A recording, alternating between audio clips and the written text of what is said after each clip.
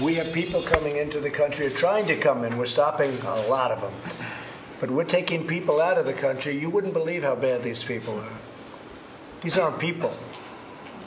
These are animals. And we're taking them out of the country at a level and at a rate that's never happened before. And because of the weak laws, they come in fast. We get them, we release them, we get them again, we bring them out.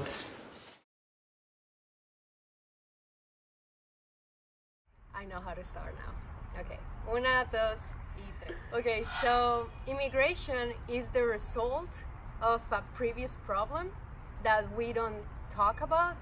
And you don't leave your country if you are not forced to or if you're not obligated to leave i wouldn't leave my country if it wasn't violent or if it wasn't if i didn't think there was better opportunities in here trust me i'll be still there so when it comes to the president making decisions about who comes in here and who doesn't um, he we like united states has fucked with the welfare of a lot of countries because of its imperialism so I'm gonna put an example.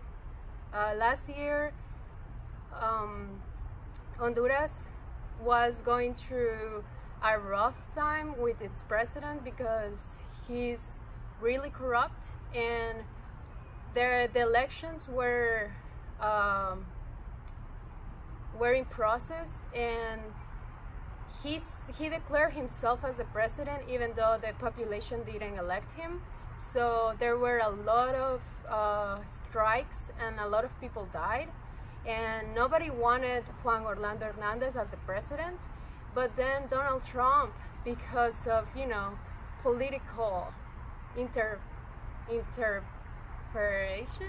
Interference. Yeah, interference, thank you. Um, he declared Juan Orlando Hernandez as the official president and that made upset a lot of people because nobody wants him but because Donald Trump declared him as the president um, he's official officially in the house now so after that decision was made 5,000 people around 5,000 people decide to leave the country because there's just no other way around it it's either you stay and you die or you try and you have a better future. So now when the caravan comes here, we all see this as just the result.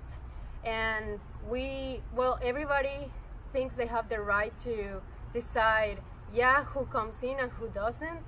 So if the president is gonna get involved in other countries, they also, he also has to accept the consequences of his acts. And if United States are gonna um, get involved in um, different countries because of its imperialism, like I said, uh, they also have to recognize their acts because um, United States got involved in Guatemala for the Civil War uh, in the last century and nobody talks about it. Nobody talks about the 20,000 people that were dead. Nobody talks about all the wars that uh, United States has get involved and has started in other countries. And when people try to escape from all these violent situa situations and we try to seek a better place, we are seen as the bad people. So if United States is gonna get involved, they should get involved for help instead of run and instead of their own political um, benefits. Well, um, Guatemala is one of the countries with most violence in Central America, and there's seven people killed by day. Also, there's the country is dominated by orga organized crime, meaning police is corrupt. So there's if you get mugged or assaulted, there's no one that can help you. Like in this country there's no law. And um, we also don't have free education and that leads to poverty. Um, there's more than 300 families living in the dumpsters and children on the streets are pretty common too. Also um, they live in the sewers and we call them like sniffers because they smell the glue of the what you used to to stick the shoes and that is their drug because um, that makes them don't get hungry. So it's pretty common to see kids around the city smelling this glue which is really sad and the government is never gonna get involved in all these social problems. So it's gonna be hard to change. And also besides the violence there's a lot of uh, corruption. And to change that it's it's a problem in the government. So it's not really the people it's not really the fault of the civilians or the citizens it's more a government situation so it's really it's really a tough situation.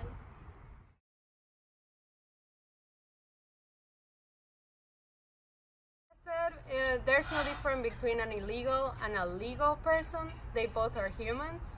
So if in my uh, power is the option to help somebody i will do so and um, well i mean it's really expensive to get a way in here the legal way.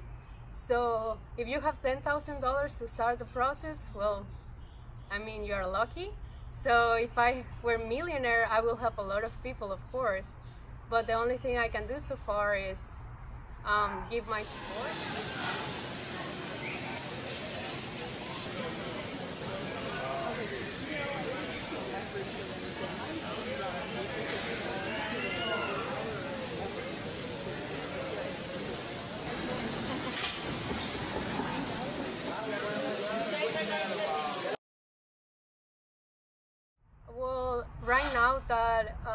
problem is completely out of control because there's a lot of kids that won't be um, taken with their parents again.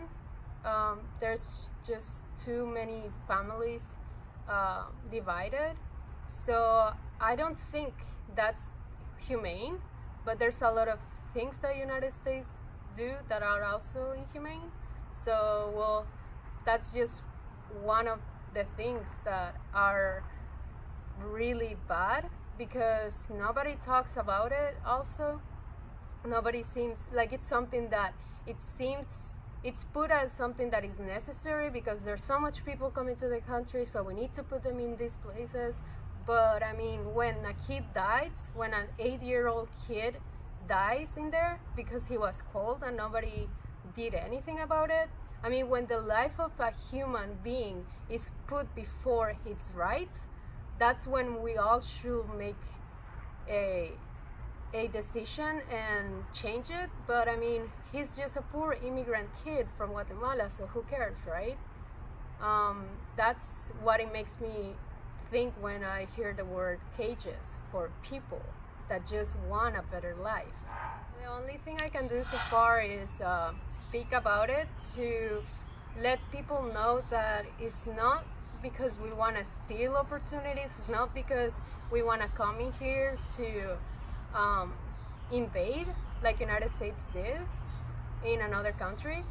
So we just come here to get a better life and that's the only thing I can do so far. Well, like I said, um, the problem is not the laws in here, it's in the country. So if we want to change the immigration, we need to get involved in the government in the other countries.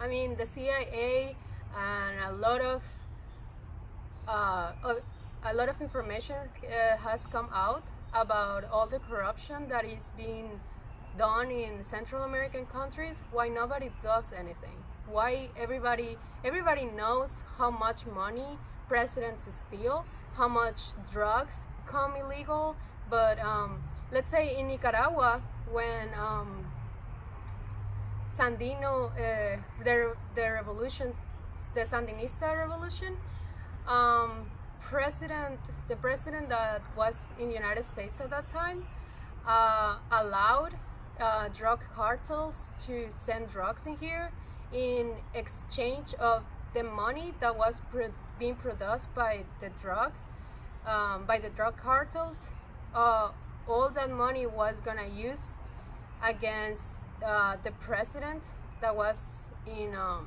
Nicaragua uh, because he was accused to be a communist. So United States a lot of, allowed a lot of drugs uh, to come here, and nobody talks about that either. A lot of armament was involved, a lot of corruption was involved. So right now Nicaragua is in a really bad uh, revolution. It's been more than 11 months, it's almost a year, where a lot of people has been killed and why nobody interferes. So if we want to change immigration, we have to change the situation in that country because that's the re reason why people leave.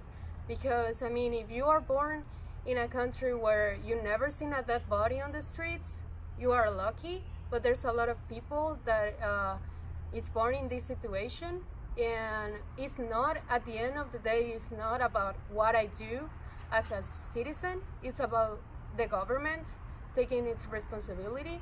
What I can do as strikes, as many as strikes as I want, but that won't change because the power is is just a bureaucratic wall that um, not even all of the population can change. It's just the system and the government that needs to be changed. And I'll say it very straight immigration is the fault and all of the problems that we're having because we cannot get them to sign legislation.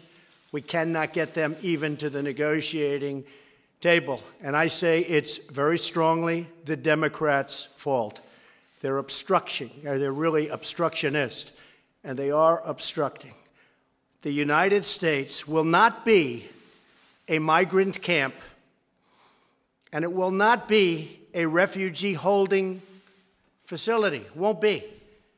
You look at what's happening in Europe, you look at what's happening in other places, we can't allow that to happen. Uh, so if a children is born on the streets, the problem will be when the government decides not to do anything about it. So um, as, as a population, as a community, we can help them.